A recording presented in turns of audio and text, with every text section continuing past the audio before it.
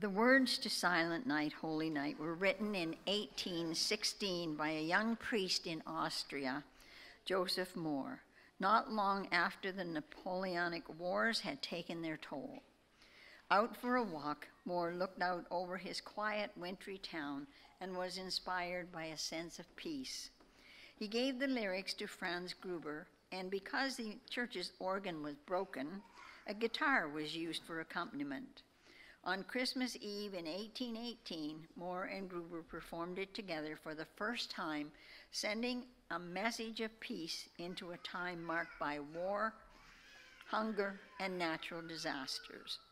Mohr's name was largely forgotten, and the lyrics were attributed to many others. However, in 1995, over 200 years later, a manuscript in Mohr's handwriting was discovered.